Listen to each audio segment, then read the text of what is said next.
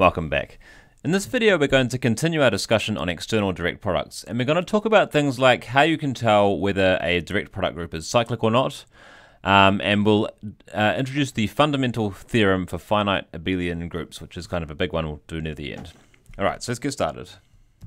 So here's our first theorem and it's a criterion for a direct product group to be cyclic. So we've got G and H being finite cyclic groups. Then the theorem says that the G plus H is cyclic if and only if the orders of the groups themselves, G and H, are relatively prime. Okay, so that's what we want to prove. We want to prove it's an if and only if proof, so we want to establish that they're equivalent statements. So just before we dive into the actual proof itself, we'll start by just setting up some terminology. So we'll let the order of G be M, right there, G so it doesn't look, look like an A, and the order of H be N, and we'll also note that the order of the direct product is simply equal to mn. That's a note. Okay? That, that follows. It's not something we're defining. Okay, so we'll start off by assuming that we have a cyclic group and showing they're relatively prime. So assume first, this is our proof of this direction. So we'll assume that our direct product group is cyclic. And we'll talk we'll give a letter for the GCD as well. So suppose that D is the GCD of M and N, and we want to show that D is equal to 1. That's what we're that's what we're trying to do. And because we've assumed it's cyclic, we'll assume that g, little g, little h is a generator.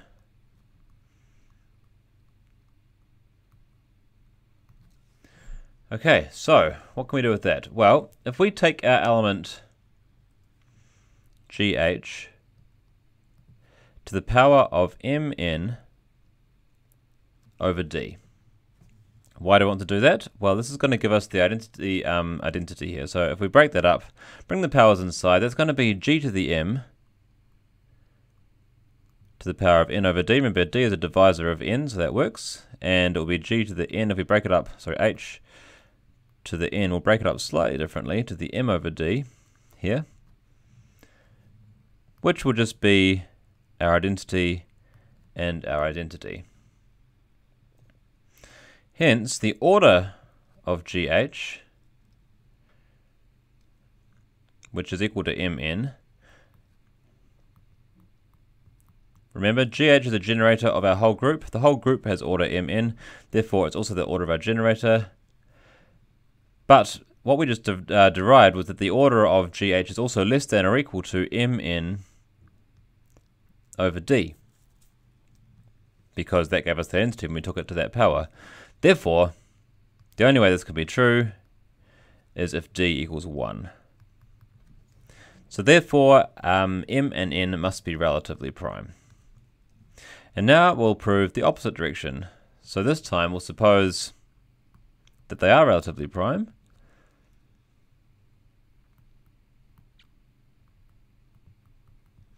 And we want to show that our group is cyclic.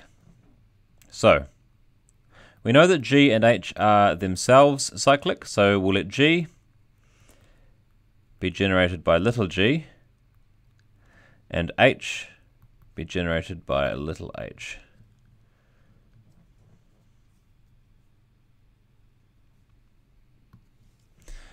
All right. So, the order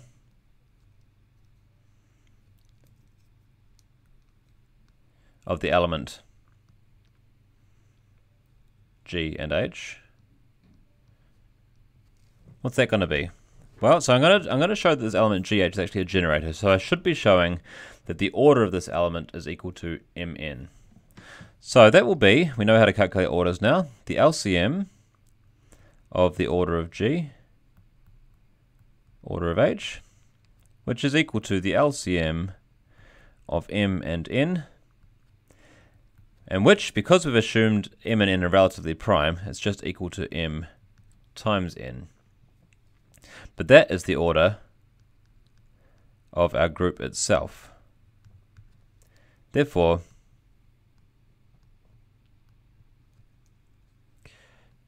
this element GH is a generator of our cyclic group. Well, our group which is now cyclic. Okay, and that completes our proof. So we've now shown that if m and if the order of uh, g and h are relatively prime, i.e. GCD of m and n is 1, then we found a generator for our group, therefore it's cyclic, and we assumed, first off, we showed that if it was a cyclic, then the m and n must be relatively prime. So these two things are equivalent statements. Okay, so we'll just add a couple of corollaries to this, um, just to make it slightly more broadly applicable. So the first corollary is just an extension to a number of groups rather than just two, and it says that basically you've got a collection of finite cyclic groups and then the external direct product of these, and it turns out the external direct product is cyclic if and only if the orders of any pair of groups you choose out of there are relatively prime for all i not equal to j. So this one's not too hard to prove. We're just going to um, do an induction kind of proof on it, or at least a shortened version of that. So we'll assume that it's true for some m. And what is it in this case? We're going to assume that if that this being cyclic is equivalent to, or if and only if, GCD of Ni, where n is just the order of the corresponding group for i not equal to j.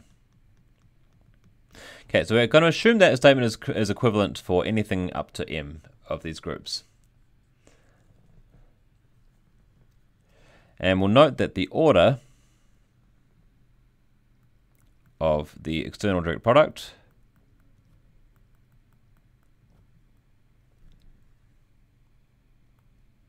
is just equal to the product of the individual orders. Capital Pi i equals 1 to m of ni. Okay, now we're going to add an extra one in. So if we take g1 plus g2 up to gm and throw in an additional group now, gm plus 1, if that's cyclic,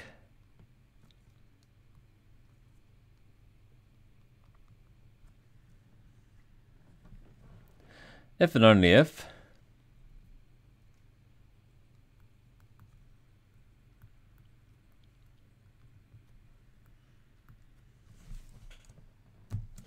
The um, the order of the first block.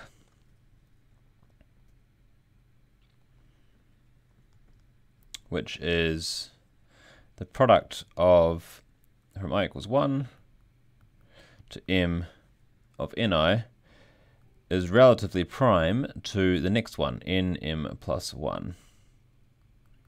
Okay, also, and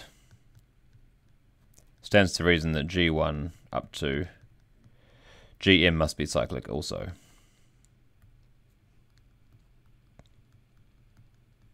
Okay, so we are basically taking the statement, we're adding an additional group in, and this is going to be true if and only if GCD of the product, i.e. the order of the um, product of the first m terms uh, with n m plus 1 is equal to 1. Okay, so we're using theorem 8.2 directly here.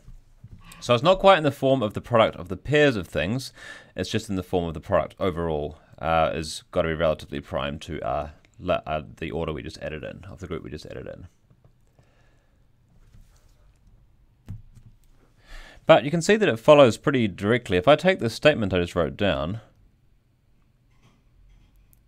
because all of the ni's are themselves relatively prime, if this GCD is 1, then the n that I just added in must be relatively prime to each of them. So there's another if and only if here, GCD of n m plus 1 with nk is equal to 1 for k between 1 and n. So let's just run through that whole argument again. We're assuming that the first m terms is cyclic. And it's equivalent to saying that the GCD of all of the individual orders is 1. They're all relatively prime to each other. and we wrote down the order of the whole group here. Then if we were to add a further term in, then that's we're just treating the first m terms as a single group, which has order that product, as we just wrote down, and it's got to be relatively prime to the order of the extra group we just added in, which is gm plus 1, and it has order n m plus 1. Okay, and all we have to do is just establish that that GCD being equal to 1 is equivalent to saying this here, and if you, because all of these n's are relatively prime to each other, this has to be the case. If the GCD is 1 overall of the product, then it cannot share a divisor with any of these individual pieces. Okay, so that gives us a similar criterion um, for a chain of finite cyclic groups. We just need to look at any two pairs, and they have to be relatively prime no matter which pair we take. Okay, so there's one more corollary, and that corollary is the same thing but written out just in terms of our z groups. So it says that z of n1 times n2 times nk, i.e. a cyclic group, is isomorphic to an external direct product of the factors if and only if each of those things is relatively prime. Okay, so for example, we can therefore say some things directly. I can say that Z2 plus Z3 plus Z3 plus Z7 I can combine things that are relatively prime to make bigger things. That's going to be isomorphic too. Well, Z2 plus Z3 is isomorphic to Z6.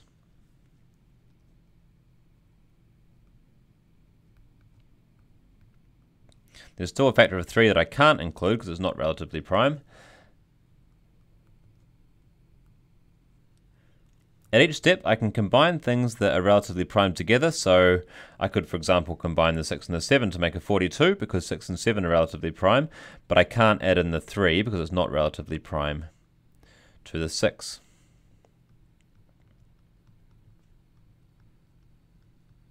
Or alternatively, I could combine the 3 and the 7 together and leave the 6 out. Also isomorphic to Z6, direct product with Z21. So you can see that whenever I have two terms that are relatively prime, I can combine them together into a single Z group. Okay, so this leads us to our next theorem, which we're not going to prove, but we're going to state it. Um, and essentially it helps us to determine when we can and cannot do this kind of thing we just talked about. So our final theorem is a bit of a step forward in Galilean. We're not going to prove it, but it's worth stating here because it fits in quite nicely with the material we've been doing.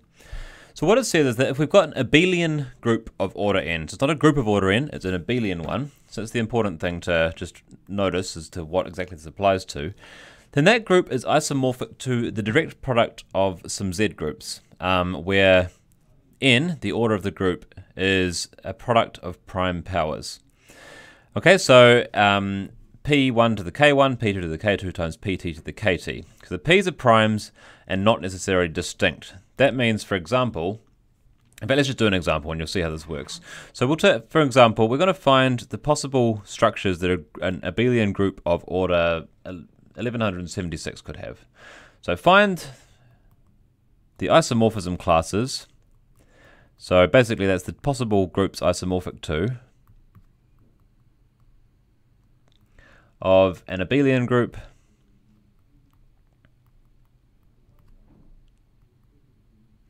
of order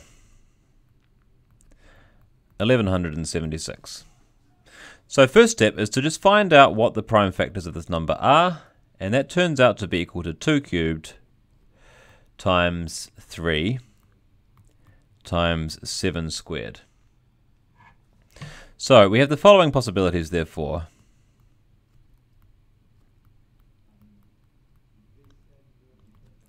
Now remember that you can only combine direct product terms if the two terms are relatively prime. So these ones are all going to be distinct from each other. So first off, Z8, Z3, and Z49. That's one possible structure that a group could have. Or we could explode one of these powers of 2 into two terms. Z4 plus Z2 plus Z3 plus 49. Remember, these are not the same group because 4 and 2 are not relatively prime. Therefore, these are not isomorphic groups here. Let's just move this across a wee bit. And so we can continue in this way and just make sure we get all the different combinations. So Z2, we could break the 4 up into two twos. So notice that the primes are not necessarily distinct. That's what it means when it says the primes are not necessarily distinct. Above, you can have multiple 2 powers if you want. Um, Z3 plus Z49. And that kind of gives us the three possibilities for splitting up this power of 2. Now we can just do the same thing over again, uh, but instead of having Z49, we can make that Z7 times Z7. So let's just cheat slightly and copy and paste that. Um, so our other three will be the same ones again, except we'll replace our Z49s with Z7 plus Z7.